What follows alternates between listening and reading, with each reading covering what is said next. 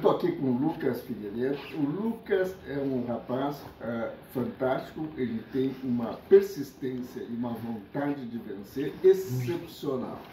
Eu posso dizer que é um dos pacientes melhores que eu tenho pela sua garra. O Lucas ele é resiliente, determinado, tem uma inteligência uh, superior.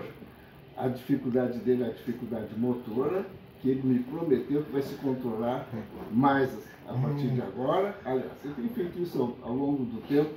Às vezes, quando ele está um pouco ansioso, é que aumenta um pouco uh, esses movimentos. Ele está tendo uma resposta muito boa, o tratamento está sendo feito na clínica, que tem um, um tempo maior, das 9 às 13 horas, é. e tem demonstrado não só progressos, é. mas até na parte artística, né? porque ele tem feito pinturas, e agora já descobri que ele é um youtuber, ok? E tem composto algumas músicas, ou seja, sinais de sucesso. Né, Lucas? Vamos nessa? Yeah!